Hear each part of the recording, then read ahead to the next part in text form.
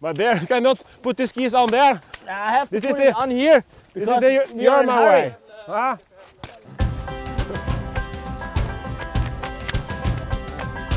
In Sweden, we take the, the skis to the snow. What, what, what is your kickback? I don't know. The sa- same like in Falun. No, normally I just use the skin skis. so Me too. I have, I have stopped waxing the skis. I, So- I, am pretty sure the first one who made the Vasaloppet with this. Uh, I heard that, and you were fast. Y- Yeah, yeah. Yeah, the, the, you was top 200. Yes. That's good. Because you're not looking in shape. So it was the skis. Hey man, come on, let's go. Try a little bit classic. Oh, it's soft, huh? yeah, soft. Oh, really soft. So did you ever do the Vasaloppet? Yes, all Swedes have to do the Yeah, yeah. Yeah, yeah. And how many times you do it? Uh, I've done it like four things. Ah, cool. Yeah, cool. But for me, it's too long. Yeah. It's too long. For me too. yeah, it's too long.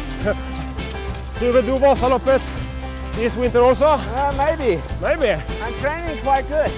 Huh? So, But you are trying skating. yeah. You know, you know that you have to go classic. yeah, it doesn't matter. It doesn't But matter. the main thing is that I'm training, Okay. not more technique.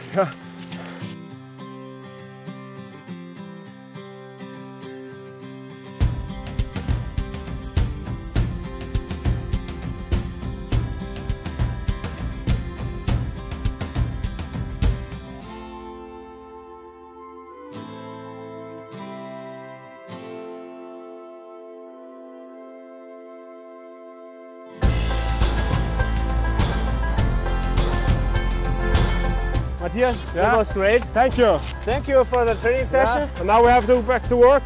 Back to work and see you at Vasaloppet, huh? Yeah, maybe. On yeah. skin tag?